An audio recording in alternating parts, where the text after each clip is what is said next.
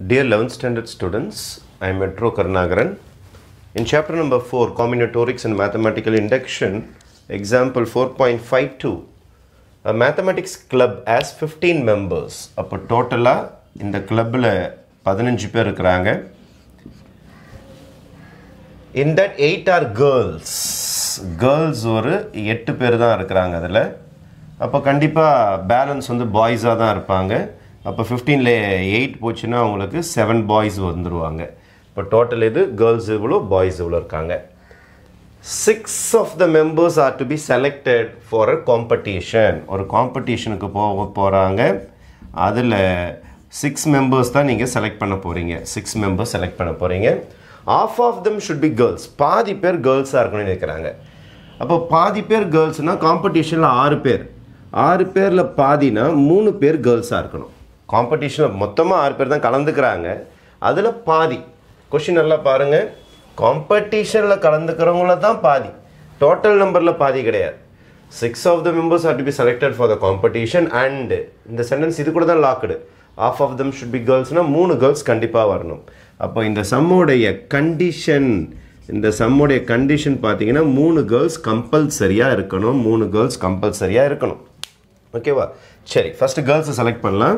Number of ways of selecting. எத்தனை girls select பண்ண போகிறீங்க த்ரீ கேர்ள்ஸ் தான். ஏன்னா of of number of ways of selecting three girls from நம்மக்கிட்ட எவ்வளோ ஸ்ட்ரென்த் இருக்குது பாருங்க கேர்ள்ஸு எட்டு பேர் இருக்கிறாங்க. எட்டு பேர்லேருந்து மூணு பேரை செலக்ட் பண்ணணும். ஆர்டர் இஸ் நாட் இன் பண்ணி. ஏதாவது ஒரு மூணு பேர்.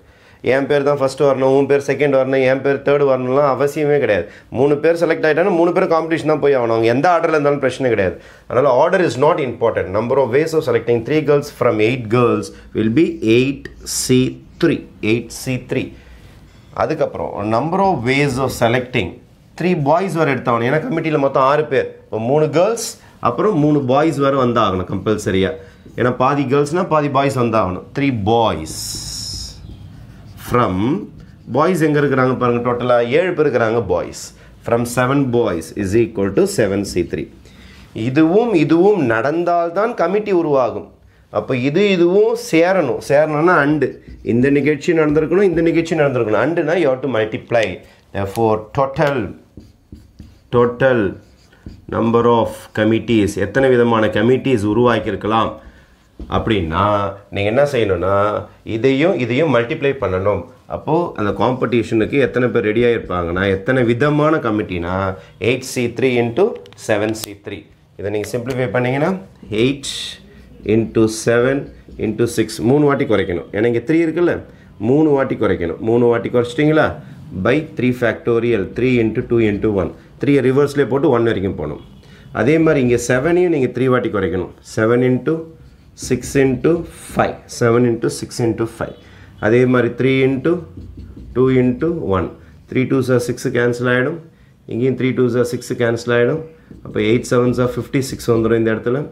இங்கே seven five sir thirty five If you multiply 56 and 35, you will be getting 1960 type of selections or committees.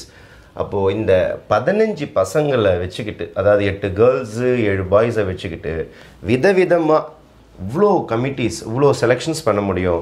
அதில் எந்த செலெக்ஷன்லேயும் வந்த ஒரே பையனோ அல்லது ஒரே கேர்ளோ ரிப்பீட் ஆக மாட்டாங்க. அதாவது எந்த ரெண்டு கமிட்டியும் பார்க்குறதுக்கு ஒரே மெம்பர்ஸ் இருக்க மாட்டாங்க. ஏதாவது ஒரு ஆளாவது வித்தியாசப்பட்டுக்கிட்டே இருப்பாங்க. அவ்வளோ கமிட்டிஸ் நீங்கள் ஃபார்ம் பண்ணலாம். Okay thank you